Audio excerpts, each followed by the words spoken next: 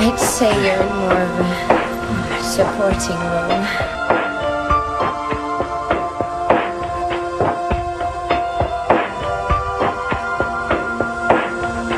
Emily will find a better place to fall asleep. She belongs to.